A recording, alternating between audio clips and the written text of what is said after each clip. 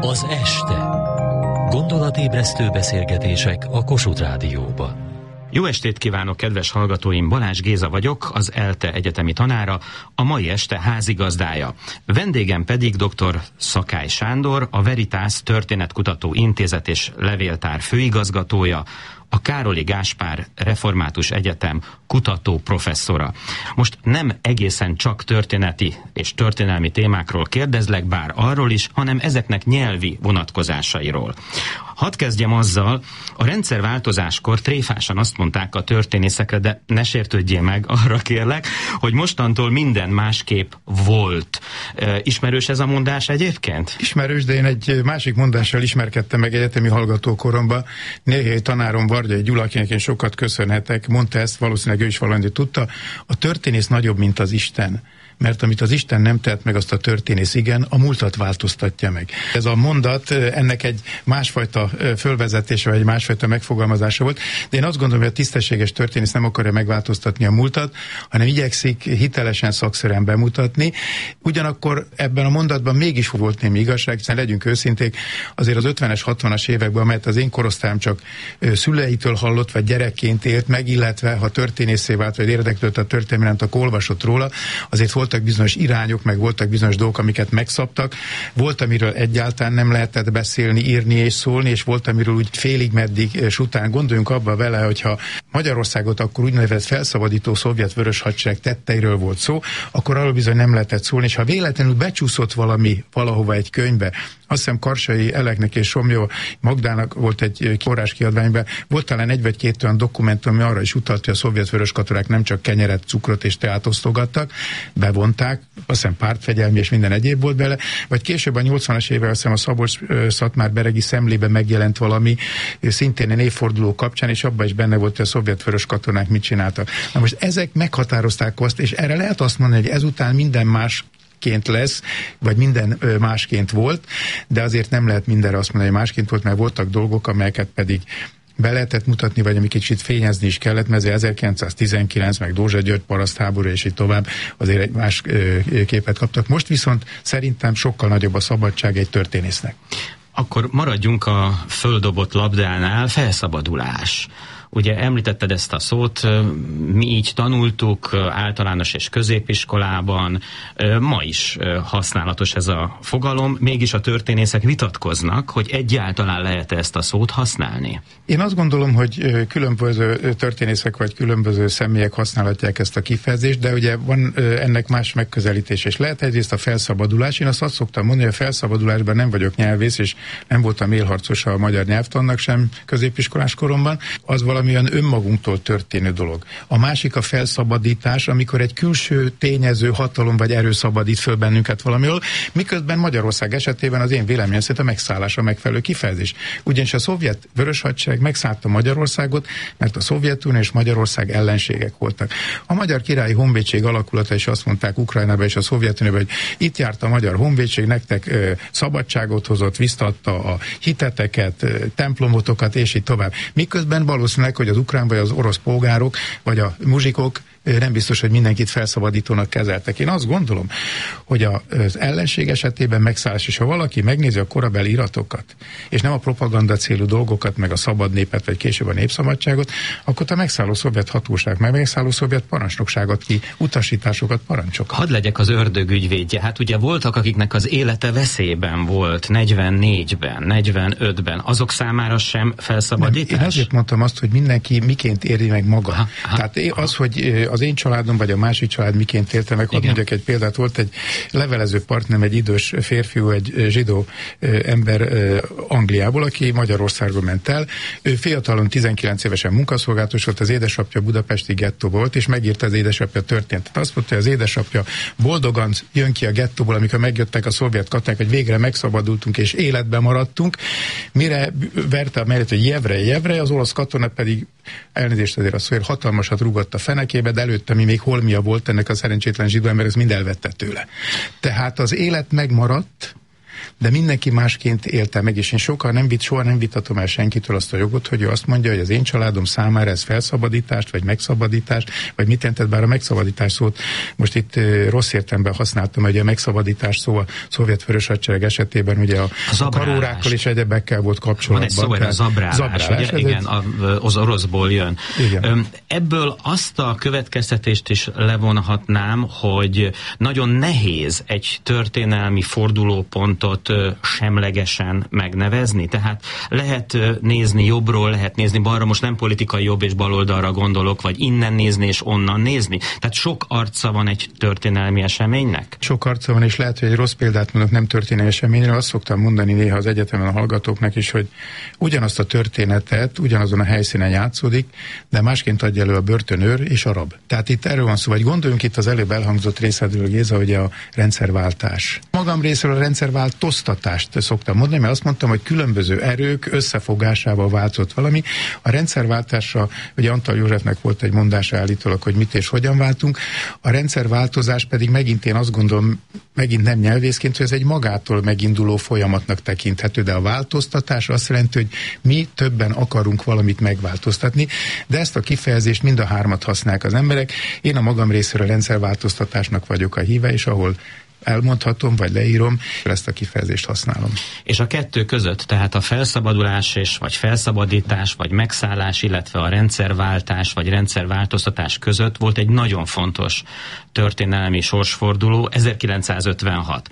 És mondhatnánk, hogy ennek is Ságvári Endrével 32 neve volt, tehát nagyon sokféleképpen egyértelmű volt a szocializmusban, a történészek ugye egyértelműen ellenforradalomnak nevezték, én nekem ebből kellett még ugye érettségizni, és azért otthon édesapám mondott ezt, azt, de azért a lelkemre kötötte, hogy azért az iskolában ezt lehetőleg nem mond így ki megtörtént a rendszerváltoztatás, és akkor egyértelműen forradalom, forradalom és szabadságharc lett, de még további elnevezések is vannak, ha jól gondolom. Igen, nézd, annyit hadd tegyek hozzá, amit édesapáddal kapcsolatban említettél, én török egy kis somogyi faluban születtem, és ott töltöttem a gyerek éveimet, és ott én nem felhatóról beszéltek az emberek, nehogy félrejtsük, de ha szóba került török kopányba, a forradalom volt. És nem, nem féltek nem, nem, nem, nem, de, de hogyha szóba került hmm. a családba, akkor a forradalom, amikor a forradalom idején a Cucak Sanyi kiment a temetőbe, és elszabadta a nemzeti dalt, amit hogy ma már mindenki csak talpra magyarnak mond, és így tovább. De visszatérve a, a kérdésedre, én egy e, hármas elnevezést szoktam használni magam részéről. Én azt szoktam mondani, hogy népfelkelés, forradalom, szabadságharc. A népfelkelést azért teszem hozzá, vagy azért Ez azért nagyon nagy én, meglepetés volt 87-88, amikor egy, először igen, hallottuk. Most én megmondom, hogy nem Posgai igen. Imre alapján gondoltam, igen. hanem azért, mert egy spontaneitásában elindult valami volt, és ezt tekintettem népfelkelésnek, amikor ledöntik a Stalin szobrot, aztán fegyveres harcok indulnak meg. Forradalomnak tekintem, amikor megfogalmazok már olyan követeléseket, amelyek az akkori rendszert kívánják megváltoztatni, és egy egész más dolgot hoznak, mert a 14, illetve 16 pont. Még nem egy forradalmi változás kísérlet elő. Rákosit, bocsánat, zavarják el, Nagy Imre alakítson Kordád Imre elvtárs vezetésével jön el a kormány, és így tovább és szabadságharc akkor lesz az én szemembe, amikor a Magyarországon illegitim módon tartózkodó szovjet vörös hadsereg, akkor már szovjet hadsereg a neve egyébként, szovjet hadseregben harcban állnak a felkelők, illetve az akkori magyar néphadsereg, amelyből aztán magyar honvédség lesz ö, alakulatai. Tehát én egy ilyen hármas folyamatot látok ebben. A forradalmat és a szabadságharcot használják legtöbben, a népfelkelés az úgy elsikad. Lehet, hogy azért, mert Posgai annak mondta egykoron, ami egy óriási dolognak számított ahhoz képest, bár ha azt gondolunk, akkor érdekes módon azt állítják, akik hallották, vagy néha Kádár Jánosra is találkoztak, hogy Kádár János még az sajnálatos októberi eseményekre utalt. Természetesen nem a, a nyilvánosság előtt és nem a pártkongresszusokon, mert azért ott ellenforradalomról szó, meg ellenforradalmárokról. Azt gondoltam, hogy ez az óvatos pesti értelmiség, OSE, októberi sajnálatos Esemény. események, ezt azok mondják, vagy mondták, akik nem akarták az ellenforradalmat használni, de a forradalmat meg nem merték. De lehet, hogy a történet is egy Kádár folklór része. Annyi, annyi legenda kering ebbe az országba, hogy ez is belefér ebbe. És nem is baj ugyanakkor, ugyanakkor hozzá kell tenni, hogy nyilvánvaló ezt az Ose, ahogy fogalmaztál Géza, vagy ezt a kifejezést, ahogy használtad, én azt gondolom, hogy szűk baráti körbe, egy kicsit nagyobb baráti körbe voltak, mert lehet, hogy a baráti körből volt valaki közben sugott, mármint besugott. Kedves hallgatóim, vendégem dr. Szakány Sándor, a Veritas Történetkutató Intézet és Levéltár főigazgatója, a Károli Gáspár Református Egyetem kutató professzora. Beszélgetésünket újabb szavakkal folytatnám, tehát a nyelvész és a történész beszélget. Hallottam egy televíziós beszélgetésben, ahol egy filmről beszélgettél a meghívóddal, hogy különbséget teszel szavazás és választás között. Ez nekem nagyon tetszett, mert hát első választó, vagy szavazó voltam én a 80-as években? Melyik a helyes? Én, nézd, én ezt a kifejezést azért használtam, mert amikor magam is, hogy mondjam, a választópolgárá ö, váltam, aki szavazásra jogosult, és a úgynevezett Kádár rendszerben egyetlen egy alkalommal szavaztam, 1975-ben, amikor sorkatona voltam Hódmezővásárhelyen. Vasárnap volt a szavazás, ö, és ugye vasárnap hétig lehetett aludni, akkor hatkor föl kellett kelni, fölvettük a kimenő ruhát, és lementünk a földszintre, és bedobáltuk az urnába a, cetliket, amelyeken legalábbis akikkel kérdeztem barátaim, jó volt, hogy mindannyian áthúztuk, tehát érvénytelen lett volna, az eredmény pedig kijött, 98%-kal lett az ezredparancsnok tanástag, és nem tudom ki lett az országgyűlési képviselő. Nem nagy választás volt a kettő közül, tehát egy tanástag egy. És én azért használom a választás kifejezést, mert számomra a választás azt jelenti, hogy van alternatíva, Ugye van, aki már alternatívákat használ, ami abszolút helytelen, de maradjunk az alternatívánál, hogy legalább kettő lehetőség van, vagy pedig van több lehetőség. Tehát ma Magyarországon legalábbis én úgy gondolom, hogy választás van a rendszerváltoztatás után. Most erre azt mondta valaki a hallgatók közül, hogy igen, de már a 80-as évek végén is volt arra lehetőség, amikor a törvény kimondta, hogy lehetett kettős jelöltet állítani, bár azért a jelöltek döntő többség. A hazafias népfront a 70-es években megszült a, csak a hazafias népfront állításának a jogosultsága, hogy így mondják, de a jelölteket aztán neki kellett jóváhagyni. Tehát ez egy ilyen fából vaskarika volt. Tehát a szavazás az, amikor elmegy az ember és automatikusan bedobja, de nyilván a választáskor is szavazok, hiszen a, oda teszem valami mellé a, az X-et, vagy bekarikázom, vagy aláhúzom. De én azt gondolom, hogy az országgyűlési választásokon, vagy a helyhatósági választásokon szavazni megyek. De e, amikor csak szavazni lehetett, akkor nem mentem el. Tehát leszámítva ezt egy katonai időszakot, amikor kellett elmennem, többet nem mentem el. Szegény anyám mindig pánikolt, hogy fiam, hát mi lesz akkor? Mondom, figyelj, Törökoppányba kéne szavazni, vagy később Balatonföldben, ahol költözek. Én meg Budapesten meg pont nem tudtam hazajönni. Nem keresték az ember, de emlékszem, és nem tagadom, hogy voltam úttörő, és úttörőként ugye faluba körbe kellett járni, amikor volt a szavazás, mert ott a nép nem beszélt választásról. Ha visszamentek a múltba, a hortikorszakra, akkor, akkor választásról beszéltek, vagy, a, vagy még 45-47-ben is választásról volt kisgazdapárt, és így tovább. Tehát kommunista párt, szociáldemokrata párt, parasztpárt, stb. Tehát lehetett választani közük, és nekünk úttörőknek végig kellett járni a falut, hogyha valaki még nem jött el szavazni, akkor kellett szólni, hogy Pista bácsi vagy, vagy Juliska néni jöjjön már, mert zárnák az urnákat, vagy nem is tudom, hogy tudtam ezt a kifejezést, hogy urna, de minden esetre a tanácsházára jöjjön, mert szavazni kell. Tehát nem azt mondtuk, hogy választani kell. Ezek szerint a nép az ezeket a finom jelentésbeli különbségeket megtartotta. Szerint, szerintem az emberek döntő többsége érezte. Tehát nehogy azt gondoljuk, hogy egyszerű kétkezi munkások, a parasztemberek és így tovább nem tudnak ö, különbséget tenni, és nem érzékeltetik az ő véleményüket. Tehát a, a szavazás és a választás között pontosan tudták a különbséget. Mondtad, hogy nem mentél el ugye választani, és szavazni sem. Igen, de nem voltam én ezzel ellenálló, csak így gondoltam, mindek menjek el. Hát de 99% elment. Igen, és Akkor hát te az 1% volt. Ne, hát ugye, én megnéz, megnéztem néhány eredményt az említett beszélgetés kapcsán, hogy néhány országgyűlési választás esetében ilyen 98,7% volt, aki elment, és 97 Igen. vagy 99-re jött ki. Igen. Azt hiszem volt egy ilyen legendás, ez is megint a legendák, mert ilyen nyilván nem történik, hogy állítólag egyszer Kádár jelezte a gyártársak, hát ne jöjjön ki már a 102 százalék. Igen, az kicsit De ez Kicsit nyilvánvaló egy... csúnyán mutat már, igen. Igen, igen. tehát ugye sokféle történetet lehet hozni, de én azt gondolom, és most megint visszanyúl, emlékszem Hódmezővásárra a katonai időszakomra, amikor ott volt úgymond a szavazás. Ha most azt veszem, hogy akikkel én jóba voltam, és mindenki ugyanazt mondta, mint én, hogy nem érdekelt bennünket áthúztuk. Ceruza volt egyébként ott, tehát utána korrigálni lehetett a esetleges dolgot, tehát legalábbis az én emlékezetem szerint nem örökké iron, vagy töltőt Örök volt iron. Örök iron, vagy örökké iron. Igen. Egy másik kifejezést is helyre tettél ebből a korszakból, a, az elitet és a nomenklatúrát. Bevallom, az elit engem is roppantul idegesít, tehát amikor elitről beszélnek, én az első jelentést szoktam uh, magamban felidézni, az valami kiemelkedőt, valami minőséget uh, jelent, és amikor azt hallom, hogy a szocializmus elitje, az engem egy kicsit szemantikailag, jelentéstanilag bánt. Géza, én a magyar katonai elittel foglalkoztam, vagy foglalkozom a két világháború időszakkal, ahova körülbelül 1400-1500 szemét soroltunk be, meghatároztuk, milyen szempontok vannak, beosztás, rendfokozat, és végignéztük azt, vagy végignéztem azt, hogy milyen társadalmi környezetből jöttek, hány nyelvet beszéltek, milyen iskolai végzettségük van, hogy jutottak el a vezérőrnagyi, vagy a vezérezési rendfokozatig, és így tovább. Ha most, ha belegondolunk, és megnézzük, hogy a úgynevezett szocialista időszakban, mert egyesek kommunistának mondanak, ugye a, faluhelyen ezért a kommunista kommunista volt, és nem a kommunista kifejezés. Ott például azt látta a falu népe, legalábbis az én szűkebb pátriámban, török vagy Somogy vagy a környékén, hogy nem a legelitebbek, most ide aztán személyek kerültek akkor hirtelen pozícióba, és így tovább. Most ezeket nem lehetett elitnek tekinteni, és nem azért voltak hátrányba az illetők a előző rendszerben, egy falusi társadalomban, mert elnyomták őket és kiszipolyozták, vagy nem tudom, kifejezést használják, azért, mert alkalmatlanok voltak.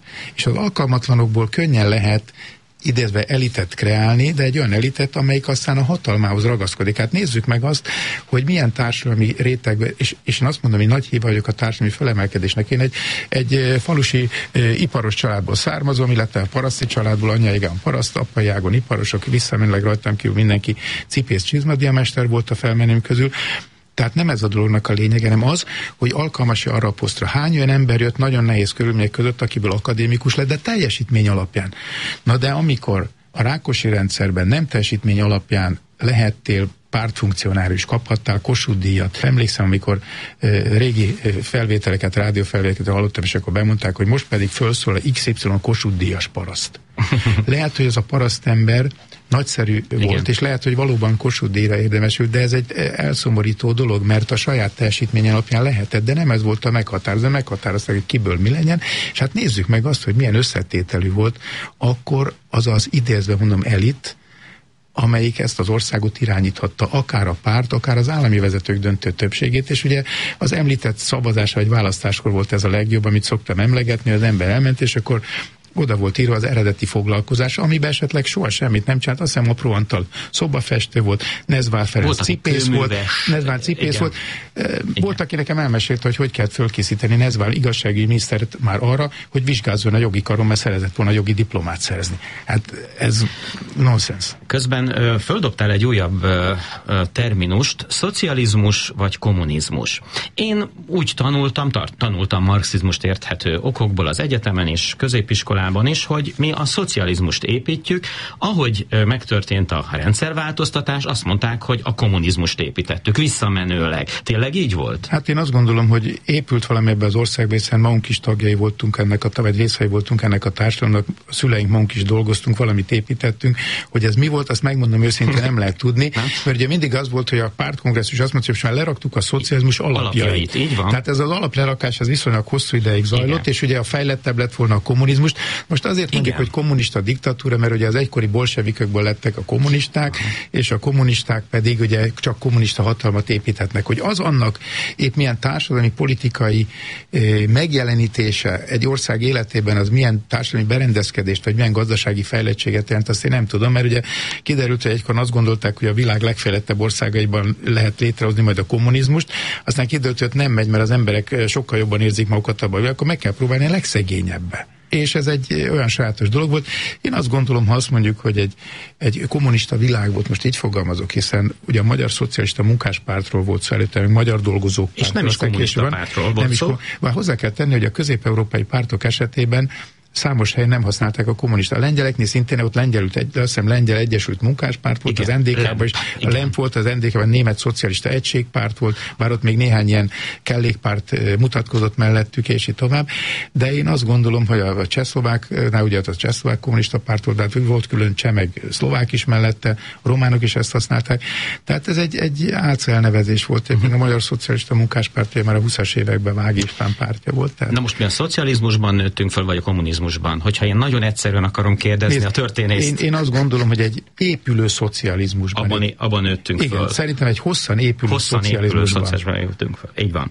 Meg kell kérdeznem a történészt, hogy amiről most beszélgetünk, azok tulajdonképpen fogalmak, és ezekről lehet vitatkozni.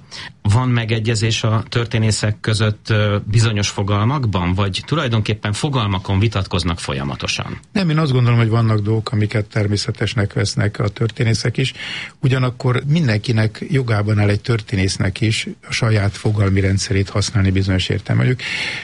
És nyilvánvaló itt előjön az, hogy kinek milyen a, a világnézete, a politikai indítása, vagy a családi háttér, és esetleg egy-egy fogalmat másként használ, de mondjuk a magyar királyságra nem illik mást mondani.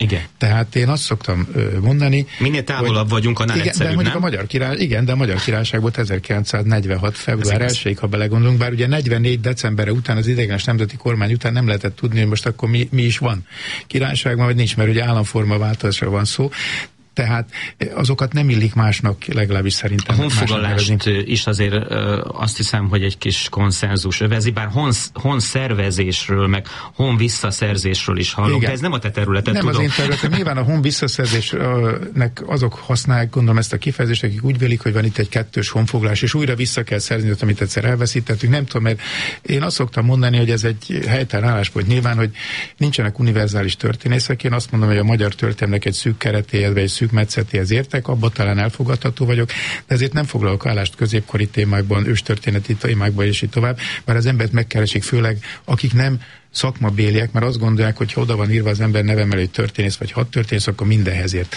Én a magam részéről nem állítottam soha, hogy mindenhez értek, egy szűk szelethez. Nyilvánvaló másokról is van véleményem, de az a vélemény az alapján alakul ki, hogy hány könyvet olvastam, melyik kollégának a kutatásai eh, tűnnek szimpatikusabbnak, vagy meggyőzőbbnek a számomra.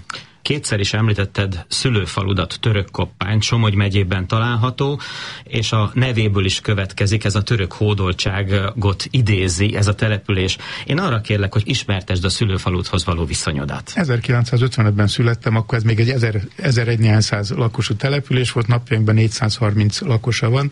Ott végeztem az általános iskolát, megnyertem a kitut többet a Szovjetunióról vetélkedő járási versenyt, megnyertem a kitut többet a tanácsköztárságról, nem nyertem meg a kitut többet Leninről, viszont megnyertem a megyei versenyt falusi gyerekként, és eljutottam az országos döntőbe 1970-ben. 1974-ig, ugye 70-ben középiskolába kerültem Kaposvárra, de a szüleim ott éltek. Édesanyám baronő volt, édesapám cipész, vagy akkor mondták Schuster, abból már nem lehetett megélni, tehát mellette járt az erdőre fát vágni, dolgozni, minden mást, és 77-ben elköltöztek Balatonföldvára, de nekem ez a település a szívemben van továbbra is, és amikor lehetett szerény eszközökkel igyekeztem segíteni az általános iskola alapítványát, minden könyvemből kap a könyvtár és a iskola könyvtár és egy-egy példát, és hát nagy megtiszteltetésért, mert ebben az esztendőben a falu diszpolgárába választott, és hát azt gondolom, hogy ez nem csak egy megtisztelő dolog, hanem kötelességeket vagy kötelezettséget is rórám. És most szaladsz Somogy megyébe. Igen, Kaposvárra megyek, Szita Károly polgármester ura Kaposvárhoz kötődő és valamilyen állami elismerésben részesülteket hívta meg, ő ezt minden évben megteszi, és miután a Széchenyi díjat kaptam, illik ott lennem a városházam.